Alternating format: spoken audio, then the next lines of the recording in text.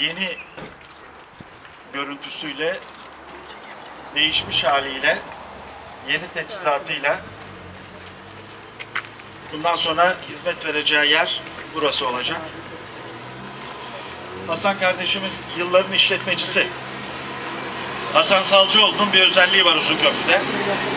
Hakikaten kafeterya işletmeciliğini Sonra arayacağım seni. Uzunköprü'de ilk oturtan, bu konuda ailemizin, çoluğumuzun, çocuğumuzun, eşimizin rahatça gidebileceği bir ortamı temin eden bir arkadaşımız.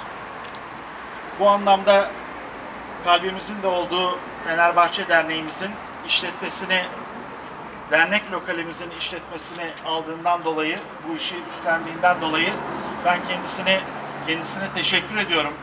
Bu işi layıkıyla yapacağını biliyorum.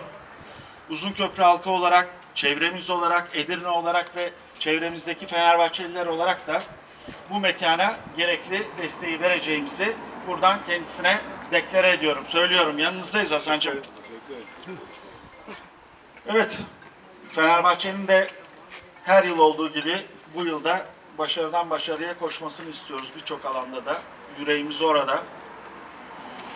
Çok fazla bir şey söylemeyelim. Artık söyleyince söyledik hepsine.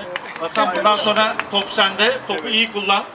Ee, burada burada e, Fenerbahçelileri topla, uzun köprüleri topla. Kaçan topu vurdun? Valla durana, kaçana hepsine kafa uzatacaksın. Gol kralı sen olacaksın. Hayırlı olsun.